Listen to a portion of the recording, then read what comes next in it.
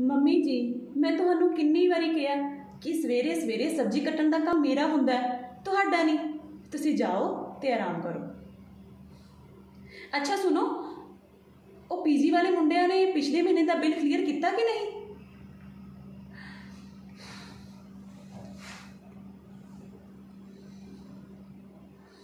ਹਾਂਜੀ ਮਿਸਟਰ ਰਾਹੁਲ। ਪਿਛਲੇ ਮਹੀਨੇ ਦੇ ਪੈਸੇ ਕਿੱਥੇ ਨੇ? ਜੇ ਟਿਫਨ ਪਹੁੰਚਾਉਣ ਵਿੱਚ ਮਾੜੀ ਜਿਹੀ ਦੇਰ ਹੋ ਜਾਵੇ ਨਾ, ਤਾਂ ਤੁਸੀਂ ਫੋਨ ਕਰ ਕਰਕੇ ਕਰ ਕਰਕੇ ਦਿਮਾਗ ਚੱਟ ਜਾਂਦੇ ਹੋ। ਤੇ ਜਦੋਂ ਪੈਸੇ ਦੇਣ ਦੀ ਵਾਰੀ ਆਉਂਦੀ ਹੈ, ਤਾਂ ਤੁਹਾਨੂੰ ਸੱਪ ਸੁੰਘ ਜਾਂਦਾ ਹੈ। ਗੱਲ ਸੁਣੋ ਮੇਰੀ, ਜੇ ਅੱਜ ਪੈਸੇ ਕਲੀਅਰ ਨਾ ਹੋਏ ਨਾ, ਤਾਂ ਤੁਹਾਡੀ ਪੀਜੀ ਆ ਕੇ ਮੈਂ ਉਹ ਸਿਆਪਾ ਕਰਾਂਗੀ ਨਾ ਕਿ ਤੁਸੀਂ ਹੱਥ ਜੋੜ ਜੋੜ ਕੇ ਪੈਸੇ ਦੋਗੇ। ਆਈ ਗੱਲ ਸਮਝ? ਫੋਨ ਕੱਟ ਹੁਣ। ਦੀਦੀ, ਇਹ ਦੁਨੀਆ ਨੇ ਐਦਾਂ ਹੀ ਸੂਤ ਆਉਂਦੀ ਆ।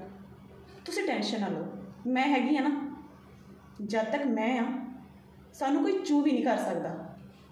ਆਫਟਰ ਆਲ ਮੇਰੇ ਲਈ ਮੇਰੀ ਫੈਮਿਲੀ ਸਭ ਕੁਝ ਹੈ। ਆਈ ਲਵ ਮਾਈ ਫੈਮਿਲੀ